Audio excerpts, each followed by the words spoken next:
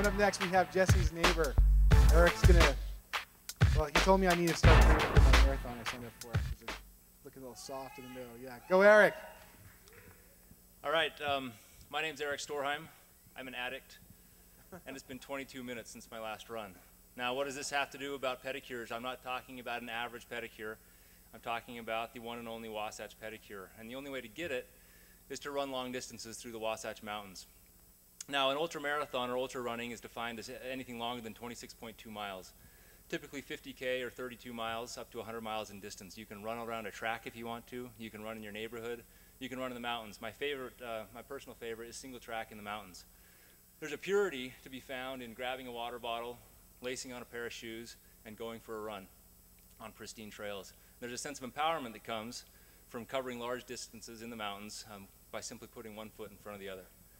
Now, anyone can run these distances. Now, you may think that this is uh, um, an older gentleman watching a race. This is 77-year-old Grant Holdaway, who finished the Wasatch 135 hours and 58 minutes. He had two minutes to spare. Anyone can do it.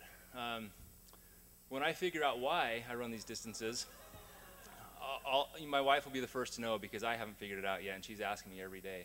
Some people do it for the purity of running. Uh, some people do it for running's sake. Some people do it to shed pounds. Uncle Dave does it to shed his inner demons. Um, some people like to eat a gallon of ice cream at one time. I have been known to enjoy that, but I also like to focus on races. And the epitome, the granddaddy, the Super Bowl of races to me is the Wasatch 100. Now, this is not to be confused with the Ragnar Wasatch Back Relay. That's where you put on costumes, you ride in a van with five of your friends um, for a day and a night, and you have a chance to pay $100 to run a half marathon. I'm talking about the Wasatch Back 100 mile endurance run.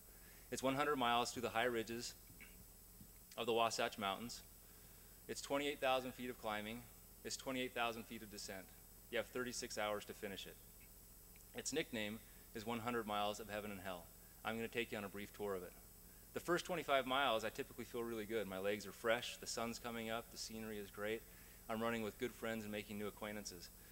Then my legs start to feel, after four or five hours, those first feelings of fatigue. Um, I get a few pangs of, uh, of despair, thinking, what, you know, 80 more hours of this, or 80 more miles of this. It's imperative that I get those thoughts out of my head, that I focus on what's at hand, putting one foot in front of the other, so I don't end up looking like my friend Jim. Um, the midway point typically is very hot. You're dropping back down into Lambs Canyon, Parley's Canyon, and it can get up to 100 degrees. Um, it's, uh, it would be really, really easy to sit down, grab a Coke, waste some time, and enjoy hanging out with my buddy here. Luckily, I've got, a, a, a I've got an incredible um, support crew of family and friends. Some of them will run portions of the race with me, encouraging me to eat, to drink, to put one foot in front of the other, even when I feel absolutely horrible and I tell them just to go straight to hell. my family and friends, they also go from aid station to aid station with critical supplies for me. They're a lifeline to hold on to and to look forward to because at mile 75 at Brighton, it's dark, it's cold, I'm tired, and all I can think about is brushing my teeth. This is where the race really starts. It's the toughest 25 miles to go. Um, last year, I was in fourth place coming into Brighton. I felt great. I was absolutely going to crush the course. And in reality, the wheels fell off. I started throwing up, reduced to a shambling walk. 11 people passed me, and I wanted to lay down, like, like my friend Brian, in a pile and a puddle of my own vomit. What keeps me going in situations like these?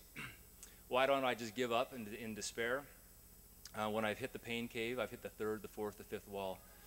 it's thinking of the sacrifice that my family has made as I've spent countless hours on the trail, of all the training that I've put on, put in. It's, uh, it's the good time spent with friends and family. And when I do come to the finish line, I look like this. Um, I feel like this. And as I try to explain what has happened over the past 25, uh, uh, 24, 25 hours and 100 miles, uh, my family just looks at me like I'm speaking gibberish, and I'm talking to it like a, you know I'm a raving lunatic. Again, why do I run these distances? When I finished the Wasatch 100 for the first time in 2005, for days, weeks, months afterwards, I felt invincible. I had just run 100 miles through the Wasatch Mountains in just under 25 hours. There was nothing that could stop me. Every race I've run since, from 50K to 100 miles, I've learned a lesson about myself, about life, and what about what I'm really truly capable of. Um, I've made lasting friendships. Some of the best friends I'll have in my life have been spent without, you know, spent talking to them hours and hours on the trails. And I've come to understand that going for a run truly does clear my head, but running 100 miles distills my soul. And I'm able to participate and have a true Wasatch pedicure. If any of you are interested in making good friends on the trails and running these distances, go ahead and um, you can look it up at wasatch100.com. mrc-ultra.blogspot.com is a, is a blog that me and my friends run, or you can contact me personally. And make sure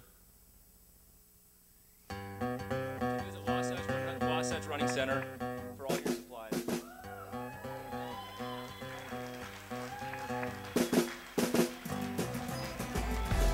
I go for a run.